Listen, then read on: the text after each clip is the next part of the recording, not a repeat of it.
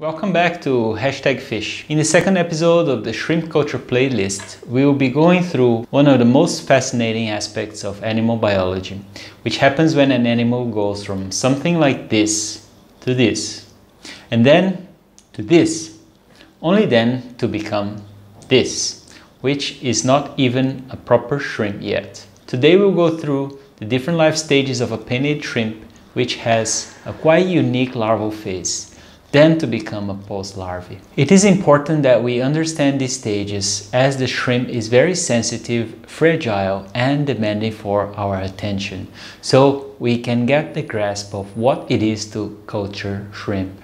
And this is because each stage has a unique demand for a certain type of feeds and environment. Before we dive deep into what they look and what they eat, let us first have a look into the double life of a shrimp.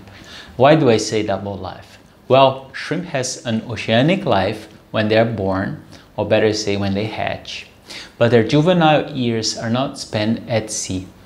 The late post larvae and juveniles, they enter coastal lagoons and estuaries and their mangroves, which are shallower than the sea and are naturally rich in nutrients, in organic matter, and support an immense natural productivity, to give support to uh, complex food webs, which the shrimp is part of.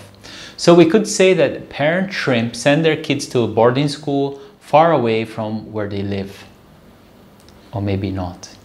Let us have a better look at this. Here we have two main areas where the shrimp naturally live, the ocean and the estuaries. It all starts with the animals first maturing their gonads, that is, the testes in the males and the ovaries in the females. Here's a picture. We have a mature female with ovaries full. Now you may have bought a shrimp before and seen a yellow to green stripe over its back and perhaps thought it was the intestine full of poo. But actually in this case, uh, it should be a female ripe and full of eggs. The intestine runs below the ovaries and the appearance when full is a dark brown or light brown in the case of a farm shrimp that has eaten pelleted feeds and not yellow or green. So when the adults are ready in, in the breeding season, they will mate. The male, which in the case of a shrimp is the smaller partner, will chase the female and try to get under her to transfer the spermatophore from its petasma into the female's thelycon. In the case of Litopenaeus vannamei, the male will turn its head around the female for this transfer, where for Penaeus monodon, the male will embrace the female in a perpendicular position. Remembering the first episode, that for the giant tiger prawn, the thelycon is closed, so this transfer can only happen when the female has molted and is with a soft shell. Then let's say that the eggs have been successfully fertilized, as you can see here on this picture on the left and the embryo will start to develop, which is the case of the photograph in the middle. And about half a day after fertilization, eggs will hatch into the first larval stage, which is called nauplius, a singular, and nauplii for plural. We will talk about the shrimp hatchery and larval quality in the upcoming episode.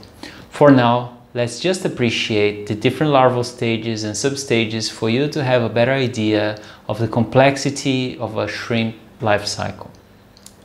Each stage has several substages. For instance, Nauplius can have five or six substages called Nauplius 1, now 2, 3, and so on.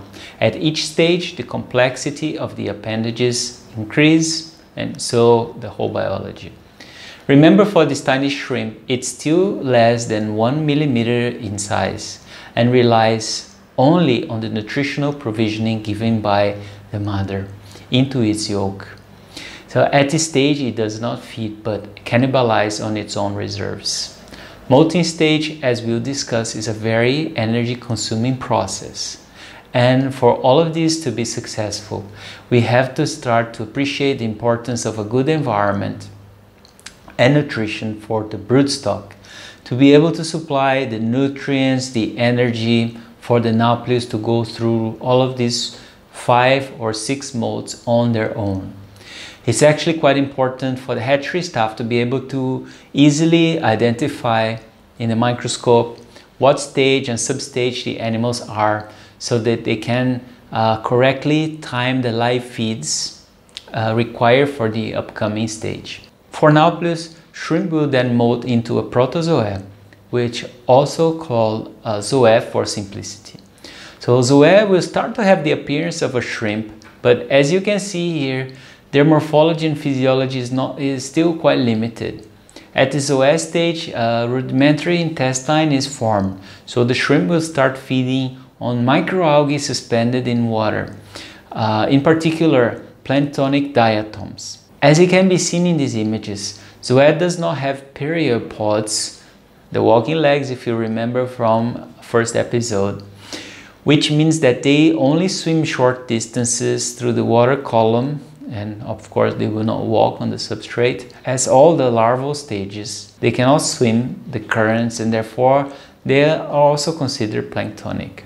Also for this reason, the larval tanks are normally a U-shape with aeration running along the deepest part of the tank to keep everything uh, that is the larvae, microalgae in suspension and well homogenized in the water column. They will stay in each stage for approximately 30 hours before molting again and moving on with their life cycle.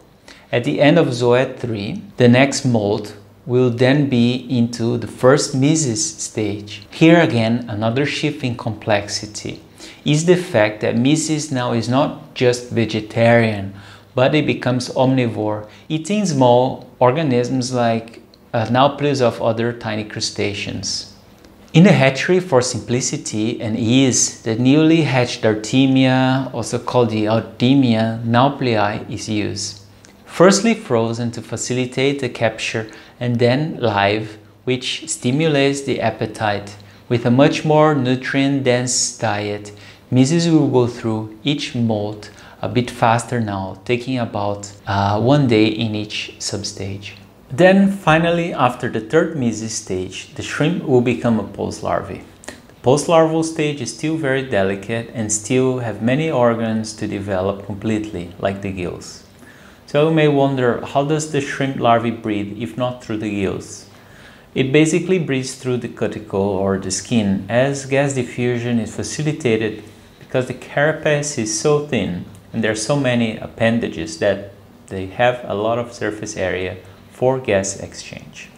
So as a recap of what we covered today here, we spoke about the general life cycle of a penaeid shrimp and the two environments where they live. When we farm shrimp, the ponds simulate the estuary, the part of the environment where juveniles naturally grow.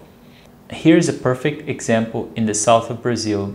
You see this farm was set up uh, along to the lagoon where shrimp naturally grows. This farm was donated by the group Yakult to the Federal University of Santa Catarina after failing to farm kuruma prawn here in the 90s.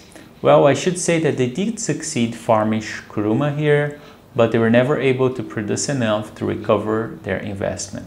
University then remodeled the farm as has been successful, graduating many students in shrimp farming and successfully producing venom for many years until white spot came and made it impossible for production under the traditional semi-intensive and open farming system. We also covered here the very different, interesting and complex larval stages and substages of a penaeid shrimp.